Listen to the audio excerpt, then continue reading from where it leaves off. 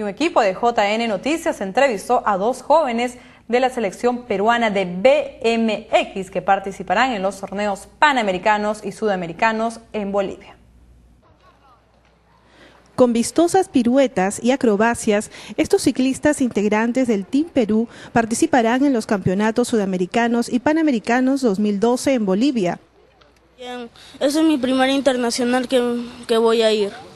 Me siento muy entusiasmado que, que, me, que voy a ir a otro país. Y... ¿Qué te falta por superar? Mm, saltar y hacer un buen manual. Después de dos horas diarias de ensayo y mucho sacrificio, estos haces del ciclismo han elevado su nivel. Sin embargo, el piloto de autos Ernesto Johamovich, delegado del equipo, aseguró que aún les falta un adecuado circuito, un buen partidor, entre otras cosas.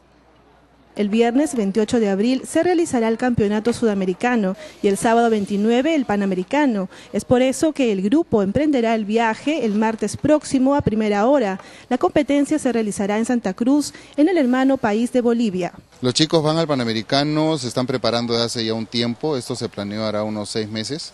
Ya entonces han estado, hemos hecho en verano eh, competencias semanales, o sea, han habido en toda la época de verano y de diciembre 17 competencias, todas las semanas habían competencias para que en base a esto los chicos vayan mejorando y estén en un entrenamiento continuo. Y...